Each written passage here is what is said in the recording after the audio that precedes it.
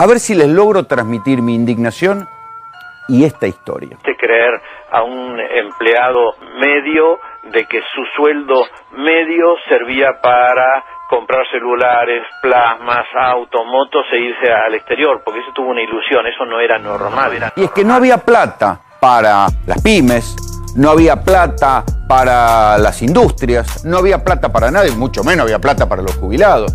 ¿Para quién había plata? Para los amigos, muchachos. Ese señor González Fraga y sus funcionarios del Banco Nación prestaron nada menos que el 20% de toda la masa que tiene para prestar el Banco Nación, se la prestaron a quién? A Vicentín.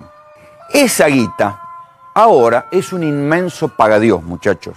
El grupo Vicentín es el principal aportante de Juntos por el Cambio. Le prestaron 18 mil millones de pesos y ahora la guita no aparece.